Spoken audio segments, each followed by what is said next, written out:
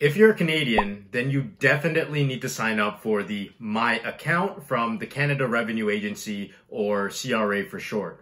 I'll be going through the required steps to register and log into my account so you guys can follow along and get your account set up super quick and easy. Click the link in the description box below and it will take you to the CRA's homepage which will look exactly like the screen I'm on right now. Feel free to pause this video now if you need to. The reason that you need to sign up for the My Account on the CRA site is because you can get access to information regarding your income taxes, GST, HST credits, RRSP and TFSA details.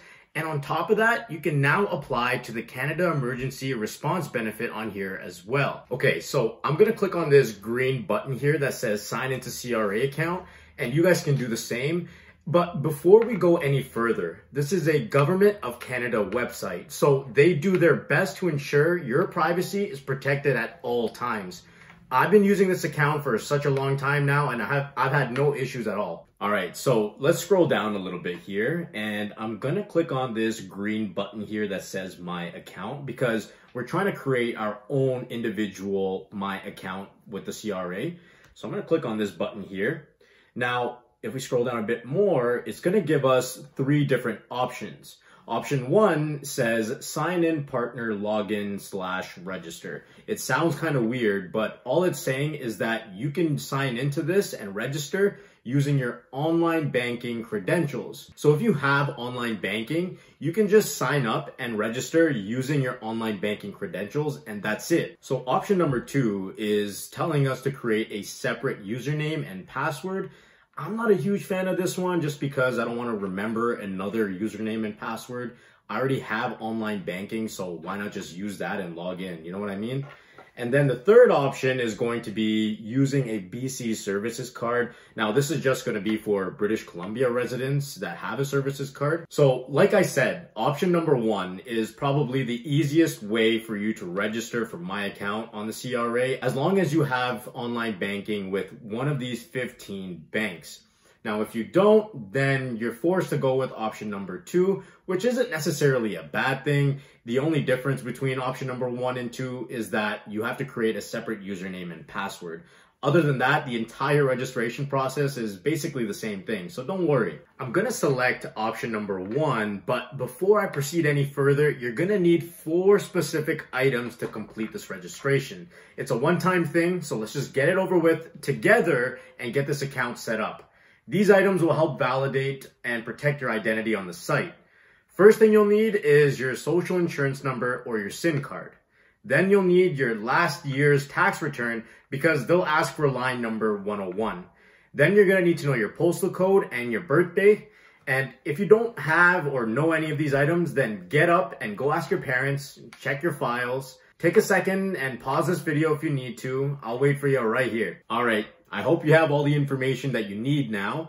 So I'm going to get started over here by going on to option number one, and I'm going to click this big green button that says sign in partner login slash register. So now you got to choose one of the 15 banks that they provided here that you do your online banking with. I do my online banking with CIBC, so I'm going to start with that. So after putting in my online banking credentials, I will press sign on over here, and then it asks you to include your social insurance number so we're to punch that in as well. Press next.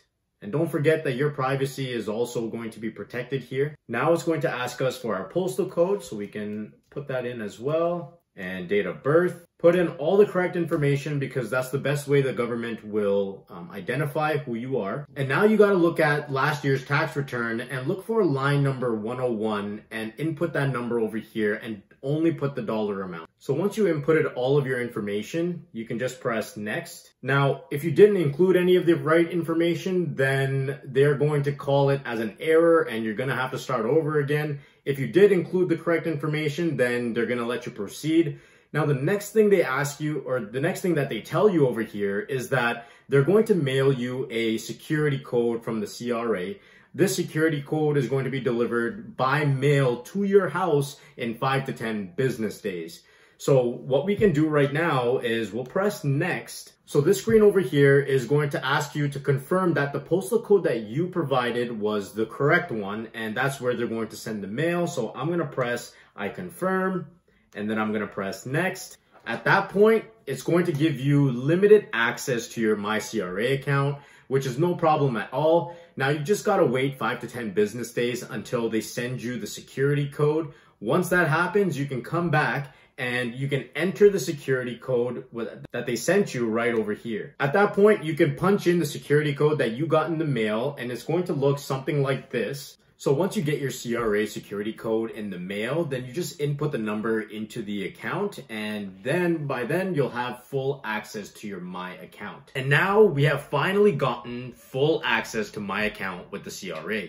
You'll be able to see all of your important financial information here like income tax stuff, TFSA RRSP details, GST HST credits, and more importantly, you can apply to the Canada Emergency Response Benefit or the CERB using this account as well.